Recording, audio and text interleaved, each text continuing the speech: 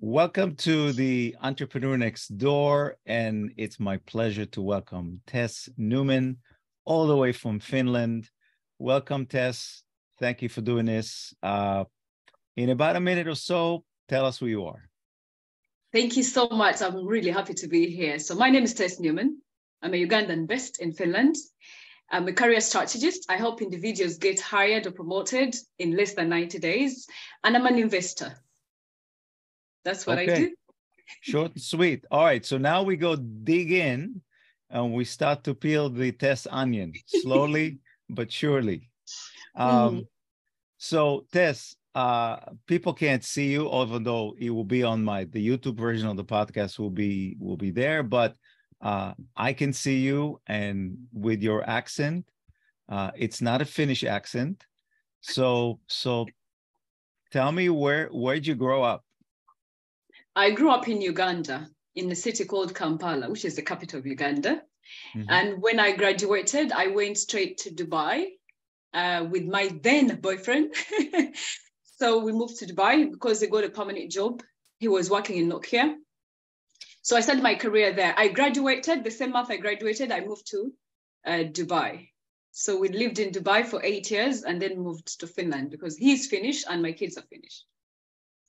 Oh wow. Okay, you give me way more than I expected, which is great. Um, so so yeah, so Finland gave us Nokia, which is I remember my first Nokia phone, the clamshell.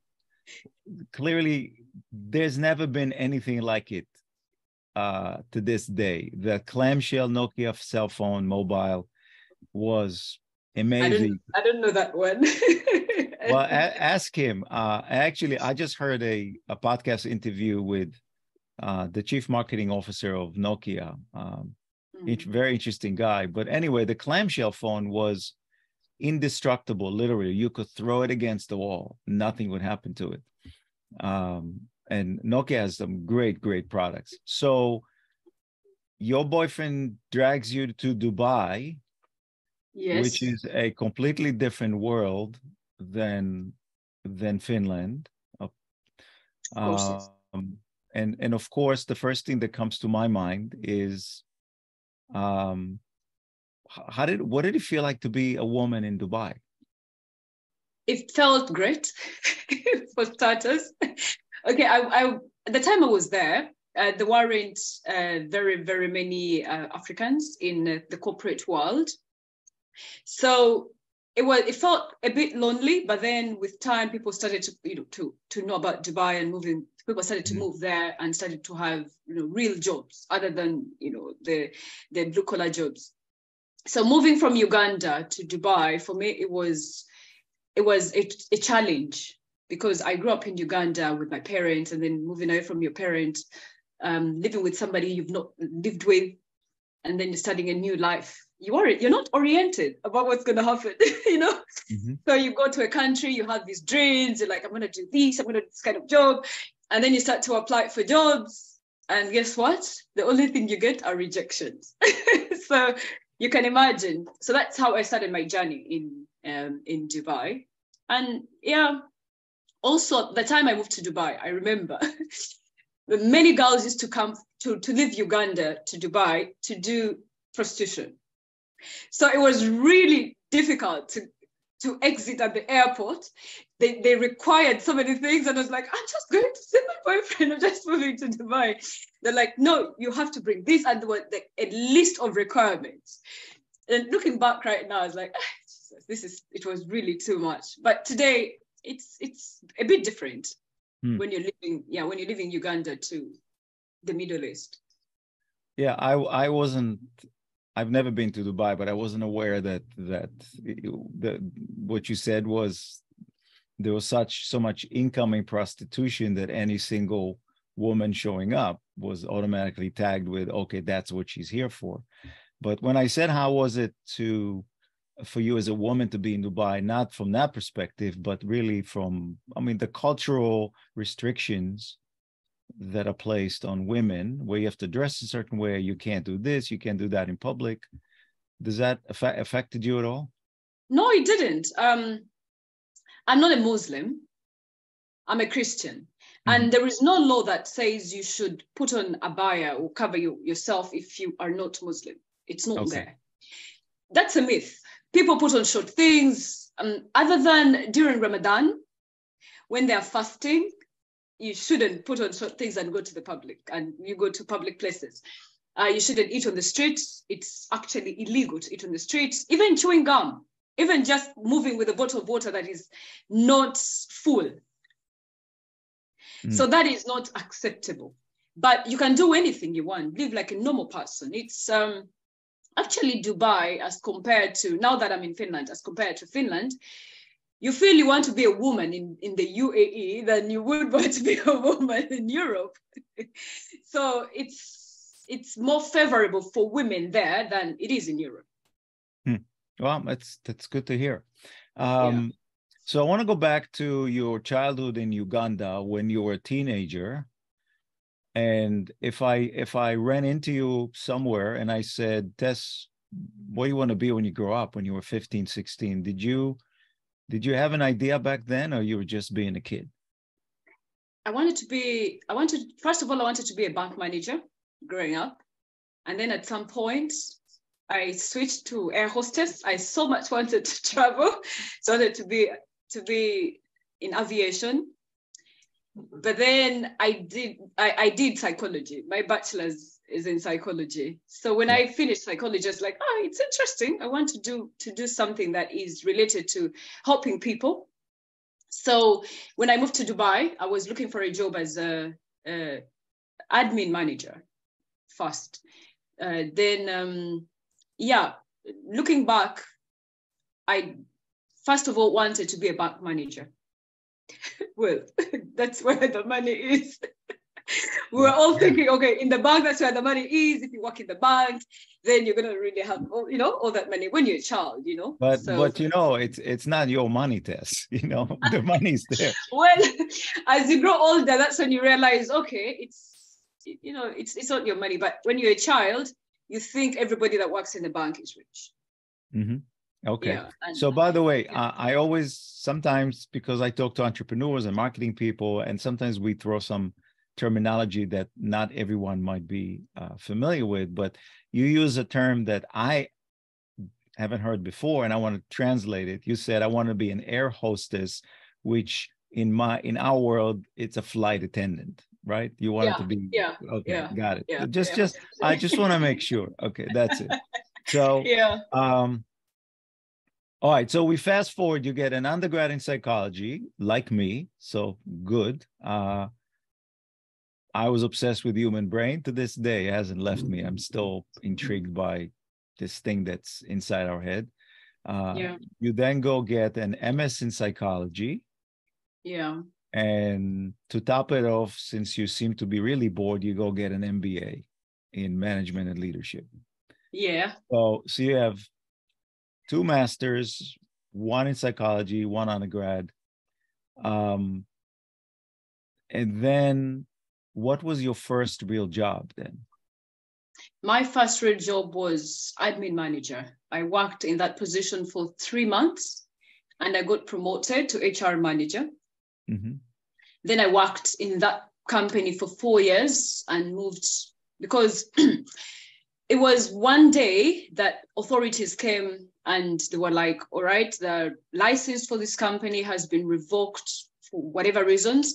And they give us one month to move and look for another. Uh, either you look for another job or you exit because in UAE, you have to be sponsored to stay in, in the country on a residence mm. visa. Either the company is sponsoring you or your partner. If you have a husband or wife, so one of them has to, rather, whichever it is, uh, has to sponsor you. So I left that company. I was working as an HR manager. I worked for four years, then got another job as head of department for teacher recruitment. So we were recruiting teachers for Abu Dhabi Education Council. Hmm. I worked for that company for seven months, but there were actually five months. Then two months were notice period. Then I left again. You have a question? Yes, I do. So the the the your first job with where you're an admin manager and promoted to HR. Mm. Uh, not supposed to ask women how old they are, but I'm going to ask you anyway. How old how old were you when you started that hr manager job I was in my twenties. Okay. so- I was in my twenties. Yeah. all right so but so there's a reason why i'm asking so uh, you know how does a 20 year old Yeah.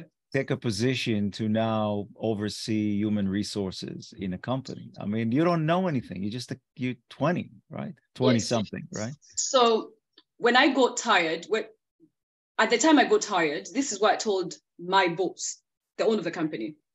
I didn't have experience. I was right from school, and he was really skeptical on hiring me. So I told him, whatever goals you have for this position, don't reduce even one just because I don't have experience. Set the same goals for me. Give me 90 days. And if you're not happy, I will leave no questions asked. So he said, okay, um, I'm going to think about it and all that. I said, what, whatever you need to think about, you have to think about it now because I'm not leaving this place without a job. I'm not leaving this place without a job. So, so he talked to, to the partner and then they hired me. And they said, we hope we won't be disappointed.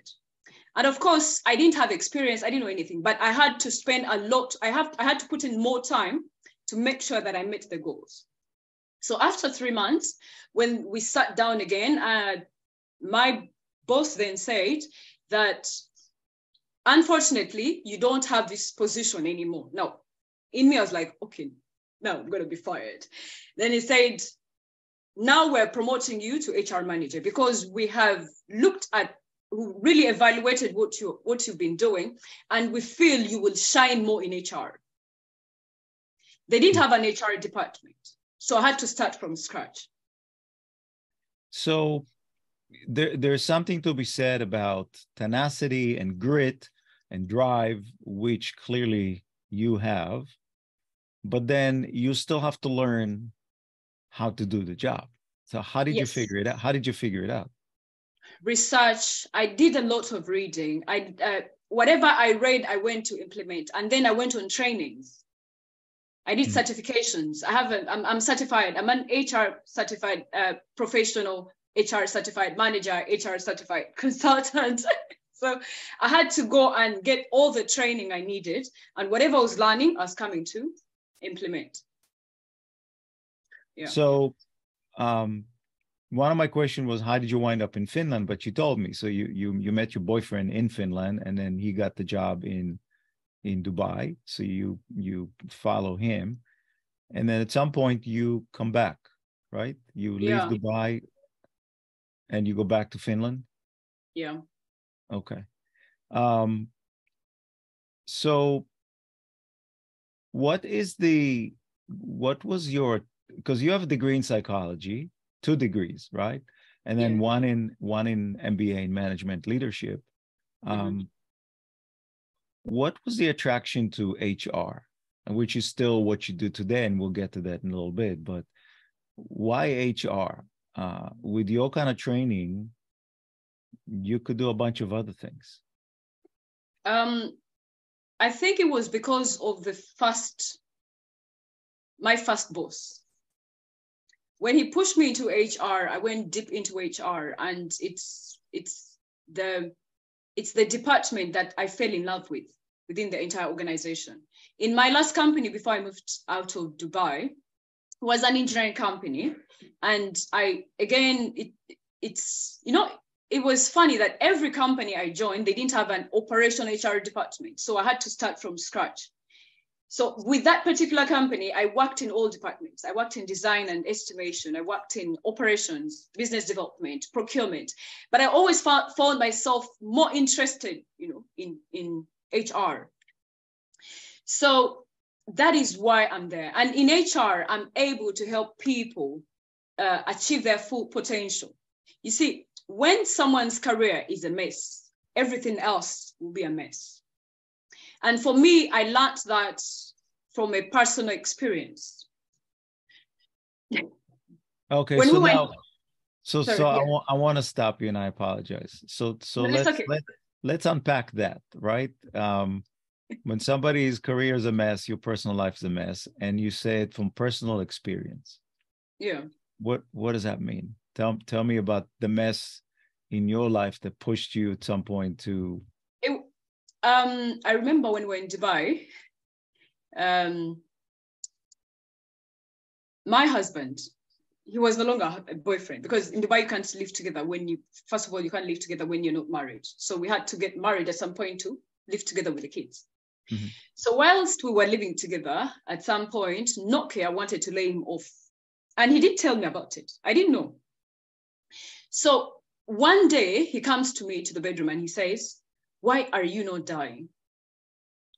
So I'm like, Sorry, why do you want me to die? So I said, I've tried to kill you three times today, but to not die.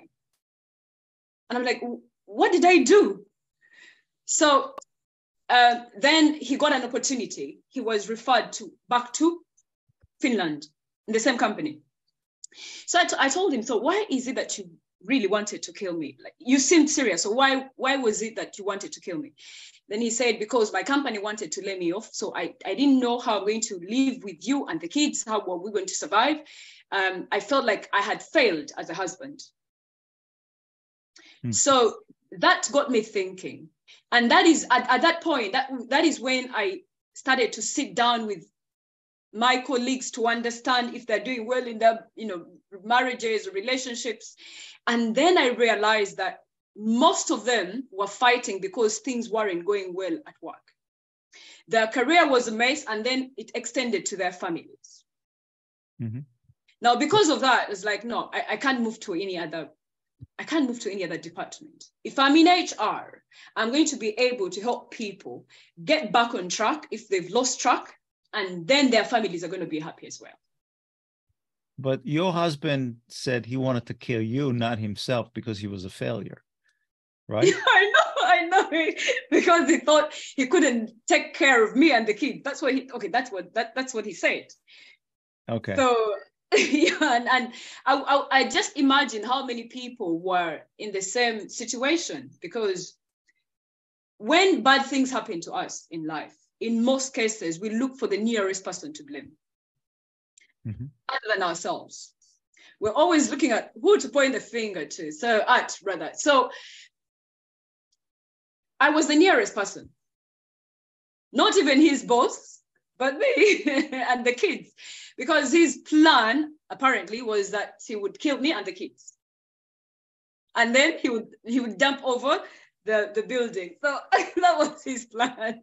that that that really sounds like a really bad movie. So we'll move on because obviously this has a happy ending and he got job back at Nokia and you were able to move to Finland.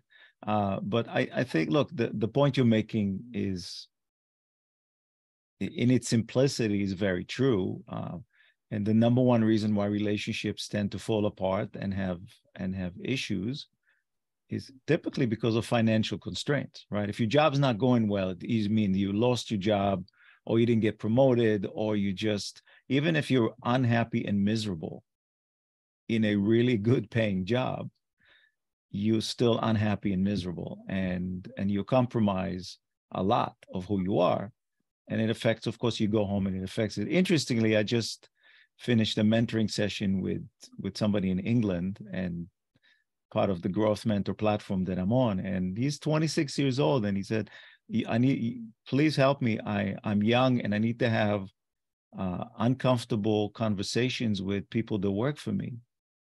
But I'm a kind person and I don't want him to take advantage of me and I don't know how to do it. Hmm. And and so we did a quick role playing, and I said, "So so tell me about somebody you need to have a conversation." Well, there's somebody that works in my team, and they do social media content production and the person publishes content with spelling mistakes. And the client of the agency obviously noticing and it's not a good thing right? And I said so how do we have this conversation? well let's have the conversation. And I said you talk to me i'm the guy you're the manager. We couldn't do it. And I said okay let's reverse roles. And we did a quick simulation on how to have this uncomfortable conversation. But at the end i said to them listen if you're a kind person as a manager don't change you don't have to be an asshole like yeah. Steve Jobs to create a good company. Steve Jobs was a real jerk, but everybody looks at him and said, wow, you know, it was Steve Jobs. Um, you don't have to be that to create success. Just stay who you are. You just have to have a conversation between one human being to another. But the one question I, I told them to ask, if it's a recurring problem, which I know you like, is look, off the record, Tess, is there anything going on in your personal life that's affecting your ability to come to work every day and do the best work you can? Okay. Because if there is, I'd like to know. And if there's a way for me to help you, I would help you. But you understand you cannot bring these kind of problems into work. Okay. Because mm-hmm. it affects you and affects people around you. So, so eh, that's the, I think that's the human aspect of it's, it's human resources. And I think one of the challenges that I've always seen with human resources, particularly the people that sit in those positions, is humans are often treated as a commodity as opposed to the first part of the HR, which is the human. And your job as a human resource manager, even if you hire and you fire and you do training, all that stuff, it's not just a, a it's not routine. It's not about shuffling things around the chessboard. These are living, breathing human people, human beings yes, yes, who yes. are as just like you, right? So, That's so to true. me, the the the number one lesson about leadership is humility for you to recognize that I don't care what your title is, mm-hmm. you're still a human being. And somebody that I follow and admire, his name is Rich Litvin. He's a high high end coach. He always says something that's so true. He said, "If you're the smartest guy in the room, you're in the you're in the wrong room." Yeah, yeah right and that's the humility piece that that gets there so um tell me about so so you did this stuff but at the same time you're also uh, dabbling in entrepreneurship and investing in companies and getting involved so the first company i saw was mums m-u-m-s tell me about yes. mom tell me about mums so mums is a company based in uganda they're into production uh, skincare and hair care basically, uh, uh, primarily. Then we extended into cleaning products during COVID. So sanitizers and all other disinfectants. But Mom's Products is um, in existence because it gives back to society. And that is why I'm part of it. I, I love um, helping the less privileged. That is a topic that that really makes me emotional. But um, so Mom's products, we, we do production for skincare, hair care, and cleaning products. So we get the raw materials from Turkey and then do the production in Uganda. And then we do white labeling as well. Okay. So yeah. you didn't so you didn't develop those products. They are you're making them for other companies. Yes. Okay. And so, what is the piece of of giving back to eh, to Uganda? What is where's the connection here? So, the people that do the production. Uh, so, are you are, are you doing this because it gives it it supplies work for people in Uganda, and that's your way of of giving back? No, um, mom's mom's products. We mainly hire people that um, have are well educated but have failed to find jobs. Okay. But have the skills. Yes. And people that have failed to find jobs, like you've been, you you you graduated three years ago, and you there is proof that you've been trying to find jobs and you can't find jobs. So those are the kind of people we're focusing on, mm-hmm. because there are so many well-educated and employed people in Uganda. Hmm. So how how big is or how small is Uganda in terms of population? 45 million people. Oh wow. So that's not small at all. And, uh, yeah, and uh, 70% of them are below the age of 40. And what's the, is it, what's the number one income producing jobs for people in Uganda? Is it a service economy? It's not, it's not manufacturing, right? No, it's not, it's not, it's not manufacturing because manufacturing is still small scale. It's service services Okay. Um, are there natural resources in Uganda that that uh, are unique to the country that you can harvest and and produce and, and create income, or is it? Uh, uh, or I, I can't think of tourism in Uganda because I haven't seen in the U.S. I haven't seen organized tours to Uganda. But is that is tourism a big deal, or it is? It is it is a big deal. It, it is a big deal in Uganda. There's tourism, there's farming, agriculture. So mm-hmm. those are the biggest sources of income for Ugandans. Okay. Yeah. Interesting. Very interesting. So um, let's go to your next company where you are an investor that got me super excited, uh, called Neostasy. Is that pronouncing it right? Yeah. So Neostasy, talk about yeah. Talk about Neostasy. So, where do I start? that one has a long story. So, in um, a few years ago, in 2021, I had a dream. So, in this dream, someone was handing over to me so many dirty kids, and I was rejecting them because they were dirty. But then the person insisted. So I said, okay, because of because there were other people around me and I didn't want to look like I'm a mean person. So I was like, okay, let me take these kids. And then later on, after, after a few days, I spoke to my mom and I told her about the dream. And she told me, you know, I, I, I've wanted to tell you about a project that I want to get involved in, supporting people, um, the less advantaged. Then um, I think it was like the third week, I get another dream. The same person who gave me kids told me, I've been told to give you that piece of land. It was a very big a very big piece of land, and it had it was like a forest. So I said, that is too much for me. I don't need it. then the person said, the kids I gave you will need that. So getting out of my dream was like, what am I going to do? Like, what do I have to do? And as as clearly as I'm speaking to you, right now, I had someone say, I was alone in the bedroom, but somebody told me that you are a mother to those kids. Start supporting them. The same way I've said it. And I, I was like, who is here with me? Because it was just me in the bedroom.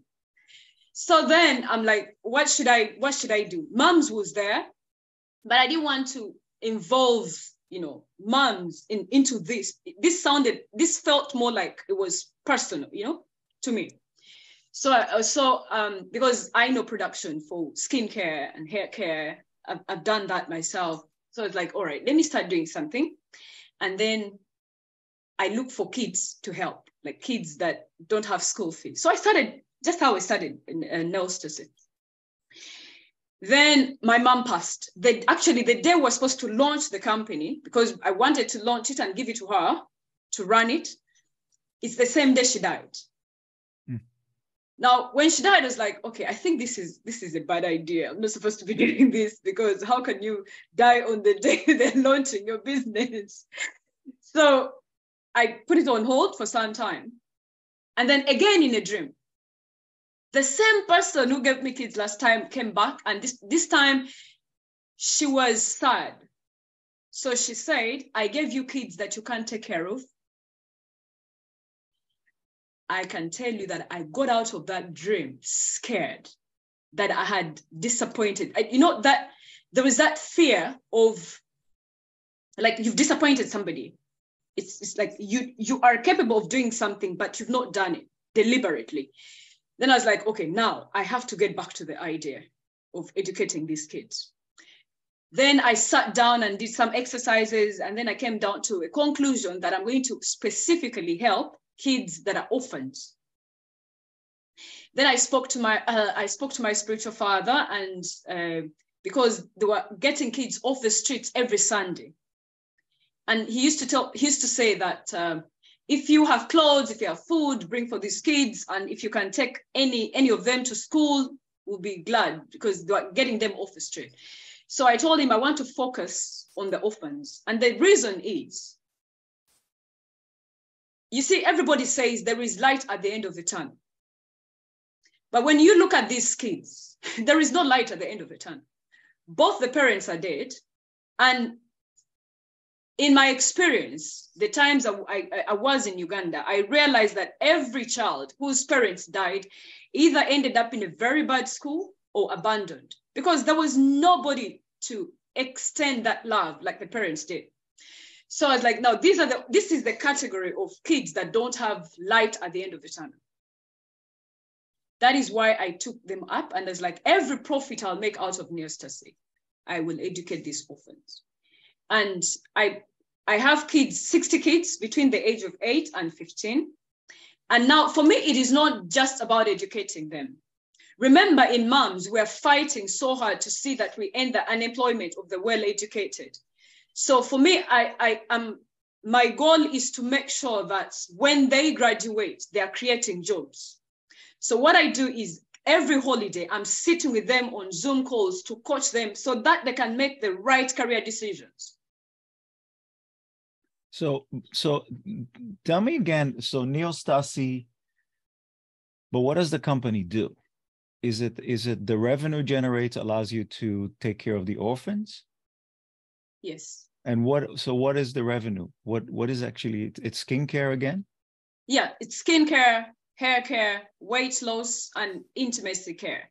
So, skincare, hair care, I make the products here in Finland, and then I outsource some for intimacy care and weight loss.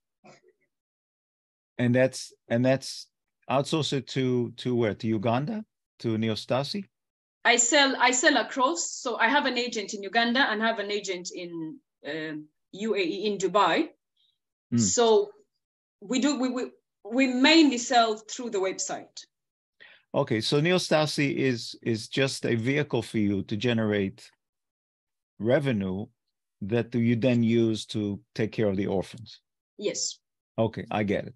And so you're like the, uh, you know Oprah Winfrey, right? You've heard of Oprah of in the U.S. Who didn't hear from Oprah? So you're like the you're like the mini version of Oprah without all that money. That's be, being able to make a difference in the lives of uh, of orphan in in your home country, which is amazing. So um, you know, one of the challenges that that whenever I come across causes, for me personally, that's just my own perspective, um, mm. Is how do you know that the money that's being generated is actually being used for the purpose that it was designated for right so when i when i give a hundred dollars to a charity in the us um, i won't give it to a charity unless i feel 100% that they're using every cent of the hundred dollars to support the cause that I believe in, right? Because there's a lot of them that will use eighty dollars out of a hundred to pay salaries to stupid executives, and twenty dollars are left to actually do that stuff. So you're in Finland, the orphans are in Uganda. Do you have somebody in Uganda that is taking care of logistics and actually the hands-on of doing this for you? yes, I have a team in Uganda that that handles everything. So this is this is what happens. All the 60 children, not all of them have homes. so some of them stay in schools, even during holiday. So we just have to pay extra fees and they stay in schools and for now, because we just started. And then we have some that we found homes for, and then we take care of those homes as well. So the team in Uganda is responsible for the fees. They pay the school fees. They go to school and pay, actually pay the school fees there. They make sure the kids have everything. Um, because, well, you know, in Finland, bookkeeping, taxes are really important. Mm-hmm. If if A and B don't connect, they you won't proceed to the next level, right? So and everything is done here. So if, if, if there are questions here, I have to ask questions to people in Dubai and people in Uganda. So everything has to be aligned. Um, we've grown, we've grown so fast. If the money was going elsewhere, and I'm not paying anybody that I'm working with, I'm not paying, I'm not paying them. I get the money from Cat Consult, I invest it in Neostasy, and nobody else is getting anything from Neostasy other than the children. Mm. That's that's incredible. Uh, this is worth you being on a podcast to to as an example and a role model for people who are, uh, you know, always giving back and and thinking about the the the, the underprivileged, the less privileged people uh, in the universe. Um, so very very inspiring, Tess. So let's talk about what you what your day job is. yes, my day job is uh, career coaching. Right, so, and you have you have an impressive following on LinkedIn. Uh, I think I think it was like forty thousand, whatever, fifty thousand people follow you. Um, fifty thousand something. I don't know. I don't yeah. remember. so fifty thousand. So, you know, it's it's one of these professions that you know, i will talk about the U.S. market. Yeah. That I could be in the middle of Fifth Avenue, New York City, and take a stick and just start banging it, turn around and bang it, and I'm likely to, to hit a couple of coaches, and yes. a few of them will probably be career coaches. And I'm a business coach, so maybe I hit myself too. But the problem with coaching, it's a brilliant concept, but the problem with it is that way too many people who are not qualified to coach get into that business and wind up ruining for those of us who are committed professionals who know what they're doing right? Yeah. and you pick something i think there's an international flair to what you do because you help people find jobs in other countries right? Yes. Which is which is even more challenging. But we live in a post-COVID world that's mostly digital, and people think that because you can you can post your job on every job board that's out there mm-hmm. that you'll get a job and in reality is maybe 1% of them do probably less mm-hmm. so you pick something that's on one hand very challenging uh, on, on the other um, it's tough to find. I mean, I mean, I don't know about the rest of Europe, but the U.S., despite all this talk about recession and all the other nonsense, we the employment is a full employment. It's it's impossible to find people. It really is. Uh, mm-hmm. Uh, some people blame COVID for it, but I don't. Not sure that's the real answer.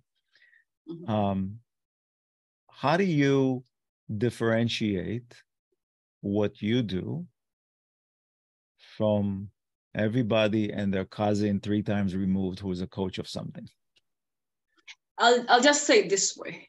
Um, I help people get hired in less than 90 days. If you know five coaches, how many have been able to help more than 5,000 people to get hired in less than 90 days? Results don't lie. I can I can sit here and tell you, oh, I'm the best, I can do this and that and the other, but what are the results? I started full-time coaching in February 2020. And today I have 5,860 something uh, clients that have gotten hired in less than 90 days. Okay, so I'm a business coach, marketing specialist, but business coach. How does a one woman super impressive one woman show able to in a span of two years february 2020 so three years get that many clients. How do you how are you able to handle all that work? That's question number one. Question number two you can you can get to it any way you want is getting to 50000 followers on linkedin is incredible. How'd you do that um, the first question I believe in this statement do what you do best, outsource the rest. Mm-hmm. If you think you're going to do everything, then you're not. So I focus on what I do best and find other coaches who do what I don't really want to do, and I'll partner with them and we work together. I don't believe in competition, I believe in collaboration. Mm-hmm. So there is a company I, I helped grow. It's called Malik. it's a platform that has career coaches. I trained, I oriented and onboarded all of these coaches and made sure they come up as good career coaches. Even, even if I'm also doing the sales. Mm-hmm. So all of these people around me, if I have something that I cannot take, take on, I have somebody else to do it. So there is a community. I built a community. I, I you know, building relationships is very important. I just wrote an, um, a post today about networking and building relationships. And I, this is not emphasized enough. The people you bring close to you determine where you're going to be tomorrow. Mm-hmm. So for me, that has helped me a lot. So, so you're using leverage to. So I guess the my other question is, how do people find you? right? If you if you have 5000 clients successful clients in three years um i'm assuming just math that those are the 5000 that converted to clients but there were other people that interacted with you and said okay that's not for me right? So it's still work. How do you prom- how do people find you? How do you promote yourself I, I use organic reach one but then two 80% of my clients are referrals. Right. So if you go back to day number one, when you started this, February 2020, yeah, zero, zero referral clients at that point, right? You just started. How I, you... I, I, I wrote a post on LinkedIn because you have to put yourself out there. Mm-hmm. If you don't speak, no one is going to know what you know. So I put a post out there. I said, I will help you get hired if you're looking for a job. So there was a there was a lady who came to me and she was like, I've been looking for a job. Uh, can you help me? I'm like, yeah, why not? That was my first client who I charged 55 euros. now let me tell you why I said this that person 55 euros. So this is what I didn't talk about. Um, when I moved here, it was November 2019 to Finland. And then 2020, COVID hit. So there was a history of domestic violence in my relationship, in my marriage. So when COVID hit, so there was a lot of drinking every day. He was drinking and working at the same time. So domestic violence levels went up. So we had to leave. All right, mm. me and, and the kids had to leave. So that is when I started because new I'm, I'm I've just moved to the country, I have no source of income, I don't know the language, but I have to go to the next to the next level in my life. That is when I started full-time coaching. And my first client paid 55 euros that I desperately needed. and in two weeks, she got a job. She had been looking for a job for two years. In two weeks, she got a job. She brought me her cousin, who I charged 150 euros. I wrote her CV. In three days, she had four interviews. and then she got a job. I think the fourth week, she got a job. She got me two other people who I charged 500 each. so you see, that is how I, I started to, you know, to grow. and everybody was working with was coming and were getting a job. And then, of course, some would just come for CV writing, and then others for LinkedIn profile optimization, then some for just consultancy, because I've had a lot of clients. But the ones that I've worked with on packaging, because I do provide independent services, but also job search secrets, which is a package. Mm-hmm. So I sit with you, we do skills mapping, because it's not it's a waste of time for us to start working on your job search when you've not done skills mapping. Many people, unfortunately, get into the job search still focusing on the role they were doing, which they don't want to do. So their resume is full of the skills that they were doing the previous role, which they don't want. so we first work on the skills mapping, then know what exactly you want to do, then write your resume, your LinkedIn profile, and then uh, dive into the job search strategies that are going to help you based on your skills, your profile, and the the country you're targeting. Mm. Yeah. So, I mean, I I was a graduate marketing professor for six years in New York City, and part of the fun thing for me was to mentor my MBA students who were all working executives. Some of them were not all managerial. Um, and so I had like a side gig of of teaching them a, a, a workshop that I called self marketing, where I said, look, you're in the MBA track and you you learning about marketing. Mm-hmm. You are just like a product or service that we market outside. You have to look at yourself as um, as as such, and mm-hmm. find ways to distinguish and differentiate yourself, especially when you're internally, even if you don't leave your job, even if you work within a company, you still want to build a way to distinguish yourself and differentiate yourself from other people in the company. If you want to get noticed, and maybe somebody's going to say, Well, I have, we have a, a promotional advance opportunity. Who are we going to pick? Well, they're going to pick the person that's making a difference, that that is different. So internally, it's fine. But when you look for a job, you market yourself just like anybody markets toilet paper or Uber or whatever it is. Doesn't make it. The, the principles are pretty much the same, right? Yeah um, and it sounds like like that's that's what you focus on but the the job search are you doing the job search for them or you prepare them and then they go out and find i uh, prepare them. Okay now for cut consult which is the coaching and hr consultants mm-hmm. and all that the license we just we registered it in dubai so i have a team in dubai. You know when i tell people what i do they're like how do you how do you manage all this? So i have 20 employees in Dubai. Who do career coaching? yeah, so I do uh, HR consultancy. The, we manage HR um, operations for companies. Okay. So what they do is we audit the company, we see what where they are at as compared to where they want to go. And then I have a team that will visit maybe once or twice, depending on the contract, once or twice a week to help with the HR services operations for that company. So I have a team of, of 20 people, but then some are HR, then some are coaching, and then, you know, yeah. It's, it's brilliant. You're, you're able, you're taking yourself and you're leveraging yourself uh, in different areas, which answers my question: How are you able to get that many clients as a as a one woman operation? And the answer is you leverage yourself and you create partnerships and you collaborate.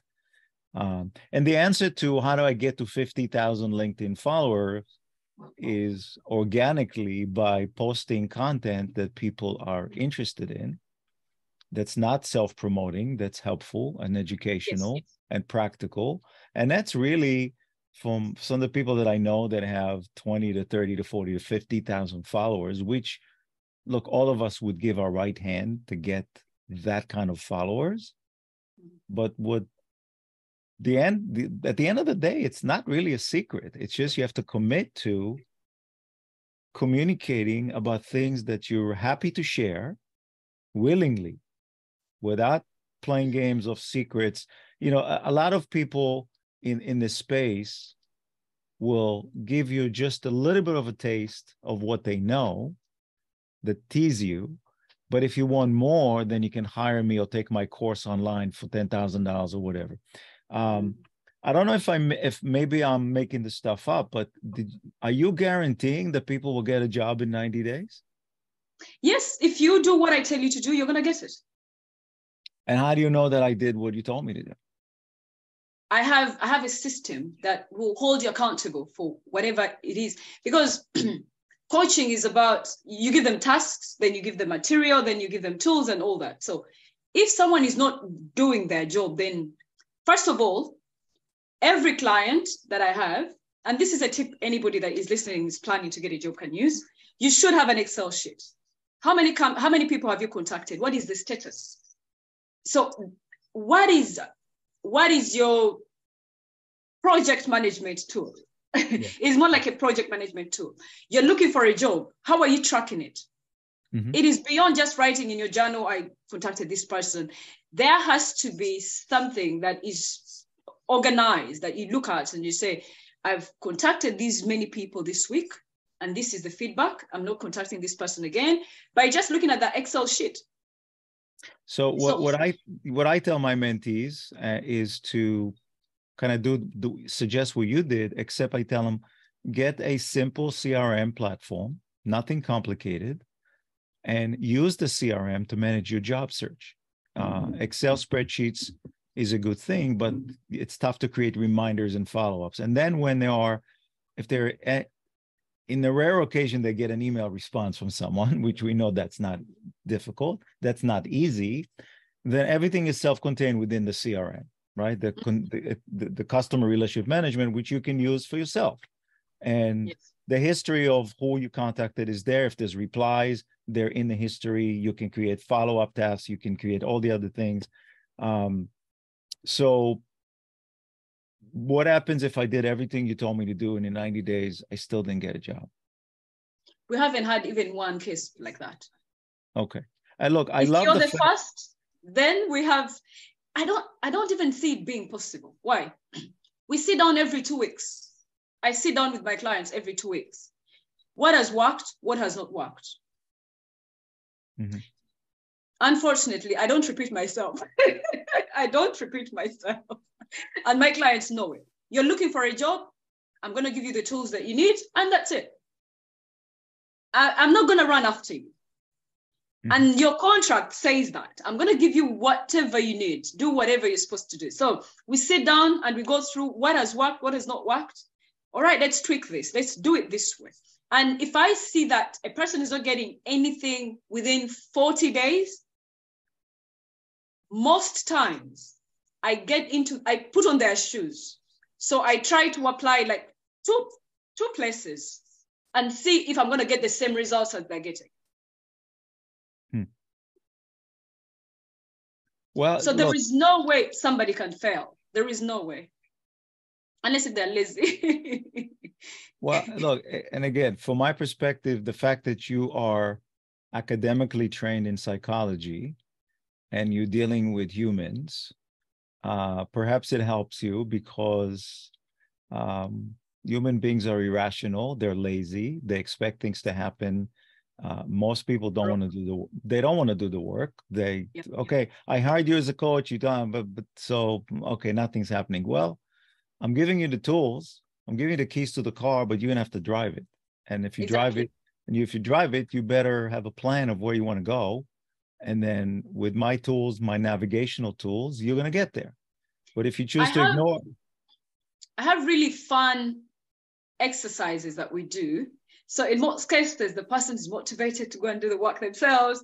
So then by the second week they haven't realized time is gone. They're like oh it's already two weeks. I've done this and this and then i give you another exercise we do it and you're still motivated before you know you're hired. So yeah. So um i guess uh, first of all so so thank you for being so open about your personal life and and sharing what happened during covid. Uh are things better now? I mean you're smiling you're happy you you you're glowing. Is life good? I mean eh, eh, is i'm always the, smiling. where, where, where's the nokia guy? Is he around or he's done? He's somewhere. Um, I don't know where he is right now, but uh, he is somewhere. Still in Oulu, and um, I don't know. Um, I've not spoken to him in two weeks. okay. We That's have that right. relationship because we have children together. Yes. Yeah. So, and he's respected as the father of the children, and the children respect him as well. That's all that is important. He's healthy. Everything else. Look, your your mission in life is to to take care of orphan children in Uganda, and um, uh, look, I'm I I'm a product of the not a product of divorce. I've I've gone through the process. Um, it's absolutely brutal on the children, and so yes, we yes. have we have to think of kids of divorce as the orphans in our own life because you know I, I, can't relate to it because i came from a happy home right and that's a the, the one thing i shared with my own kids and i said look i don't know how you feel right everybody else in the us has, has come from uh, not everybody there's so many people that come from divorced families mm-hmm. and so they live through it and you hope that they don't repeat it or put their kids through it but but they do i was a disadvantage because i didn't know mm-hmm. what my kids were feeling. Um, and uh, it, I felt their pain to this day, um, mm-hmm. but we we have to we have to take a step back and say, listen, there are the there are our kids, even mm-hmm. though we're separated, but we don't realize that yeah, even though they mostly stay with the mom, whatever, you have shared custody, which I had, whatever. But you still you you they're still alone. They're orphan, they're orphan to some degree because the home that they knew, the yeah, nucleus yeah. of a family that they knew is not yeah. there anymore. And we have to pay attention to it. Um so um for my kids, it was a, it was a bit different, I think um, for at least for the first year, because for us it was domestic violence. Mm-hmm. And they were traumatized. They would, I remember, you know, I don't know, it's just in me to laugh. So don't think that I'm, you know, uh, it's really funny. Sometimes I even laugh at myself. So we, they would wake up when we had just left his home. They would wake up and scream because in Finnish, Isi is daddy. So wake up and say, "Oh, Isi wants to kill me. Isi wants to kill me." I'm like, "No, no, no, no, no, no, no. He's not here. He's not here. It's, it's okay. You're safe here." So it went on for a while, and so they didn't have that so much attachment. First of all, um, just to take you back a little bit, before he moved to Finland, when he was transferred to Finland, I stayed in Dubai for one year. I was scared. Mm. And I told him, you know, you wanted to kill me in Dubai where I feel safe. How about in Finland when I don't speak where I don't speak the language? How how can I come there? So I stayed there for a year. Actually, it was a year and a half. But because by law, if you're not living together for two years, then you are automatically divorced. So I was like, okay, I think it's time for. I've, I've really procrastinated a lot. Let me just go and see what happens. And it, it really happened. What I was really fearful of, like Job said, the thing I feared most has come to, to pass. So immediately we got here, COVID, and then this the exact thing I was scared of happened. But I'm glad that it, it did happen at that time when they are still that young, because one is 10 and the other is now eight. They have outgrown the pain. Although they do feel, they do miss their father from time to time, you know, of course, like, oh, I miss Isi and, and all that. But I'm glad that they don't remember most of the, the violence mm. because they were still young. And I'm, I'm glad that they don't have to, you know, carry that with them forever because sometimes when you separate as parents and then they feel there is a lack probably they don't have they don't get what they want or what they need then they start to miss the other person who was providing. Now for me that is the first thing i worked on. I said i'm not going to learn Finnish. I'm going to make sure that i first get financially stable that once they ask for something i can provide it.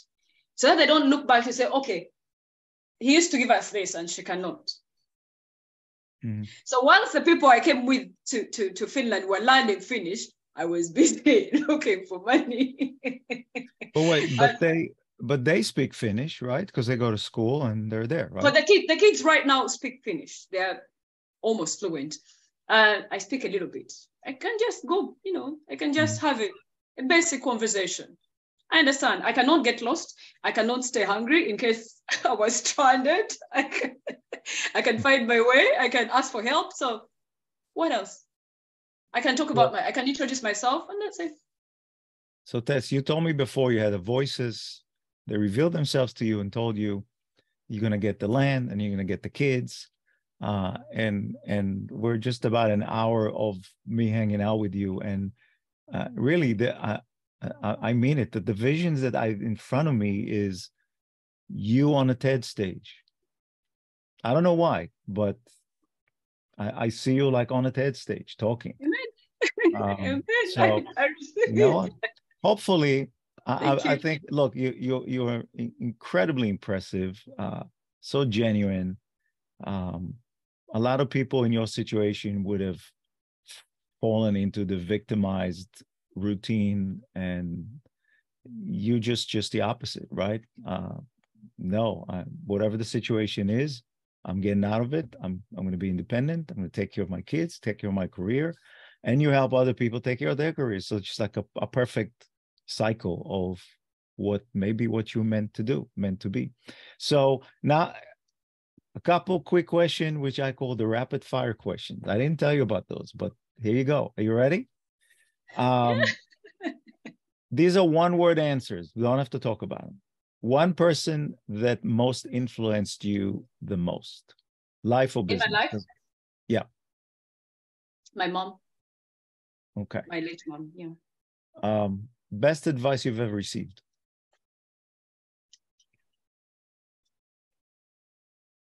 don't mind about what people think about you. It's their thoughts, not yours. Perfect. So the next one, I, am going to use the same thing. If you had a billboard in Times Square, in New York, you know that stuff with it. What would you put on it? I'm guessing you exactly what you just told me. So no, I'll, I'll, I'll say impacting lives, not impressing them. okay, great.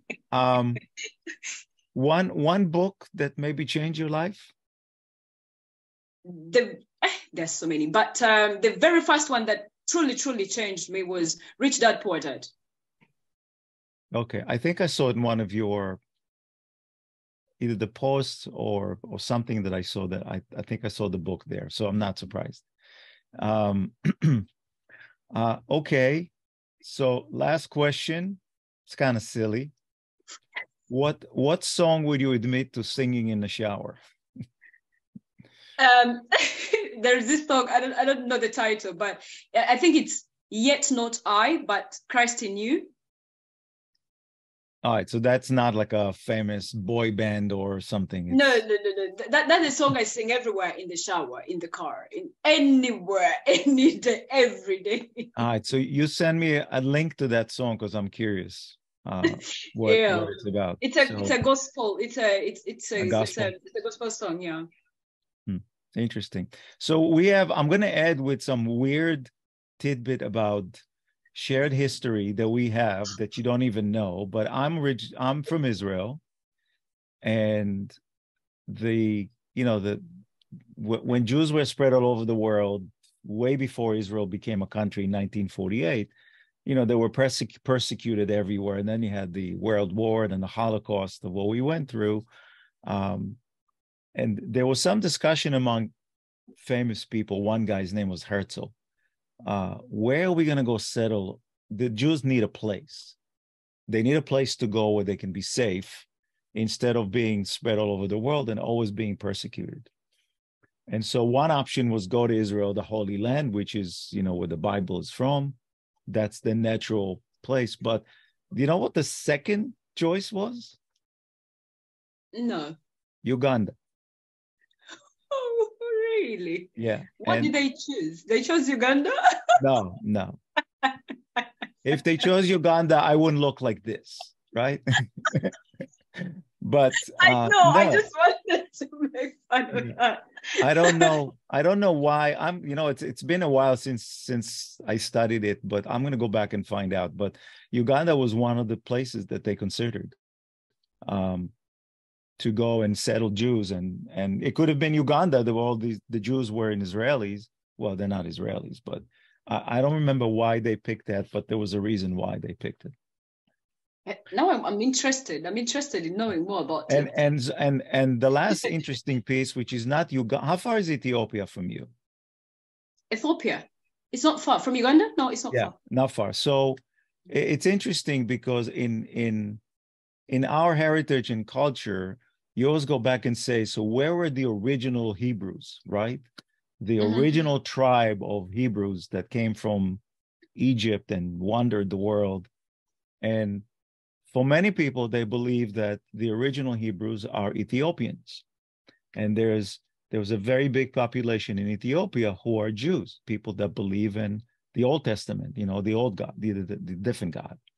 Um, and when they were started to be persecuted in Ethiopia, there was a, a huge operation that Israel mounted to go rescue the Ethiopians and bring them to Israel. Um, I don't remember what the number was, but a lot of them. And so there are a lot of Ethiopian Jews living in Israel who look like you. They're Ethiopians. They don't look like me. And they are incredible people. Absolutely incredible. My my parents had a place where a lot of the Ethiopians were settled. They were sweet, amazing people. And then they go serve in the army and they have this amazing skills of they're mm. great. They're absolutely great. So anyway, that's it. That's my that's that's all I know. I shared with you a few things. That's it. That's, um, that's interesting. So, Tess, you're amazing, inspiring. Thank you for for spending the hour with me.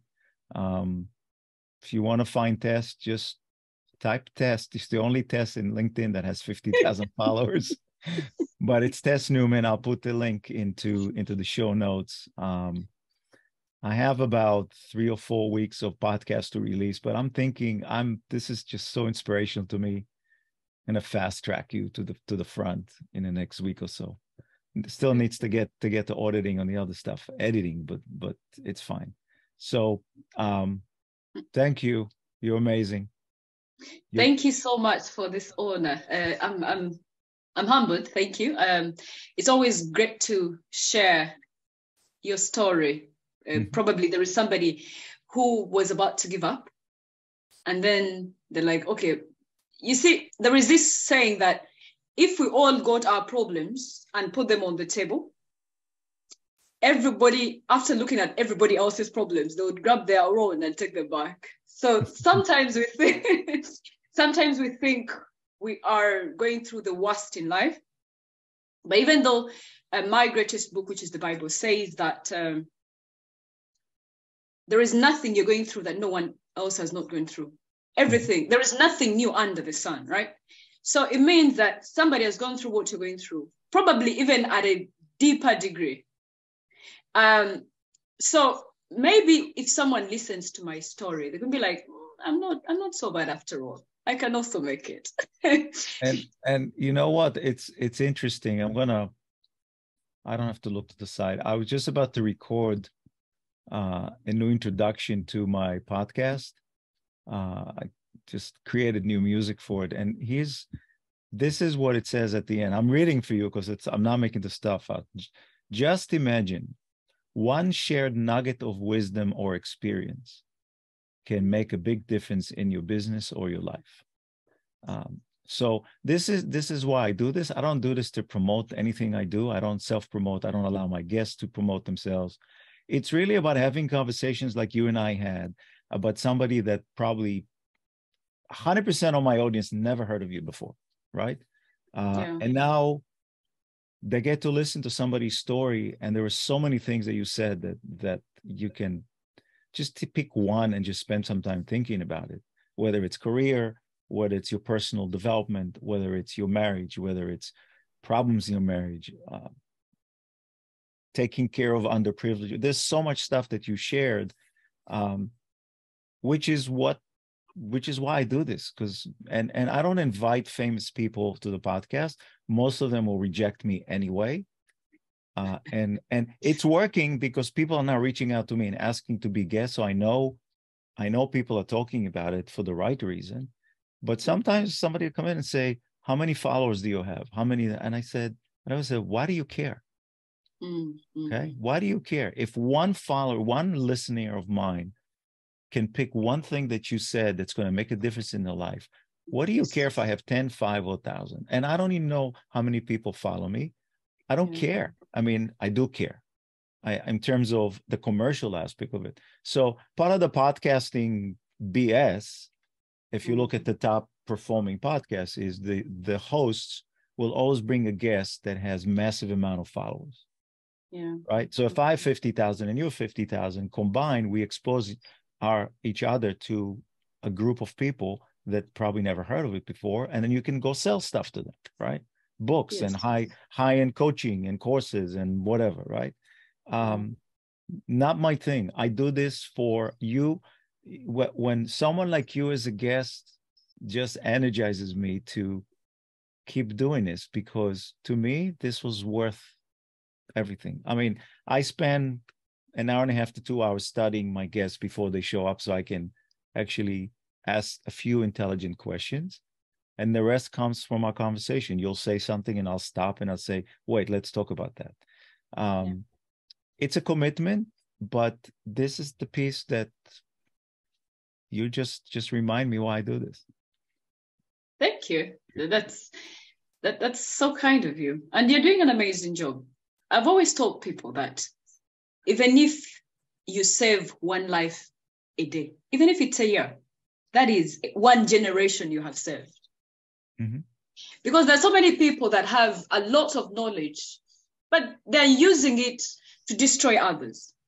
But if you're serving somebody, even if it's just one person, when I put my posts out there, you see, I share details of how to look for a job. If you if you look at my posts, I'm explaining you do this and this and this and this. But still people come to me and they still pay 6,000 and they get the job. But there are also those that have been following me for years. They've never gotten a job. There are those that have been following me for months and they've gotten a job through my posts look i'm not i'm not going to diminish the the challenges of living in in the 21st century and the pressures that we all go under uh, right uh, but the one thing that stops everyone from i think from doing better is that that what's in it for me stupid mm, egotistical kind of, yeah. selfish thing that you know entitlement. you know why you know what's in it for me? Well, what why am i sharing all that? But but when you look at and and there are some people in my in my world of followers and people that i follow um, who have very impressive linkedin followers like you and they do exactly what you did. And if you ask them how did you do it? That's exactly how they did it. They share what they know not because they mm-hmm. wanted to get clients because they wanted to share. So if you're kind th- there's a guy that i trained on his system years ago called zig ziglar and he said something really profound, but it's simple. And his, his quote was, You can get everything in life you want mm. if you help enough other people get what they want. Right? The more you give is the more you get.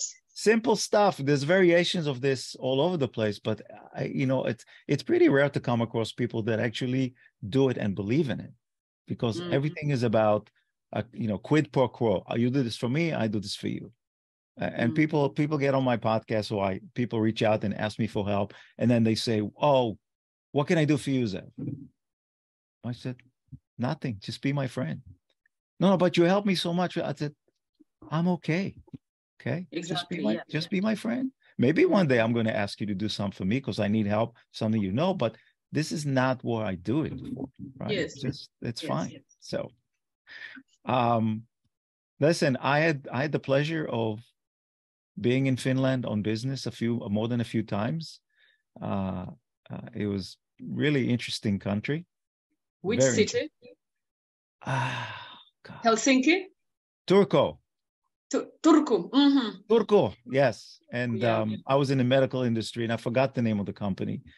Um, but the the interesting part was that I just got a brand new mobile phone in New York, and I was so excited and I got on a flight and I flew to Finland. And I remember standing in one of the one of the beautiful square place at 9 30 in the evening in the summer so it was still light right? Yeah. and i'm calling my wife on a mobile and she said where are you? And i said i'm in finland.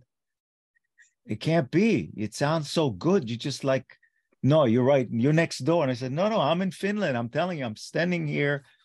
The reason I tell you the story is that I came back home like a week later, and I tried to make a phone a phone call out of this mobile phone when I was two blocks away, and I had no cell signal.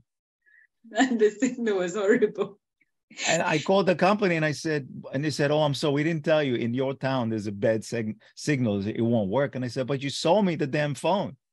And I just yeah. was in, I was in Finland. It was beautiful. I had five bars. I'm back home and I got zero bars. The only place I can actually talk to people is go to the outside my house. There's a area where I throw the garbage. Mm-hmm. That seems to be the only place I can talk to people, and it's not comfortable to smell the garbage. So, know. So anyway, that's like interesting. I get more stories for you on Finland, but it's okay.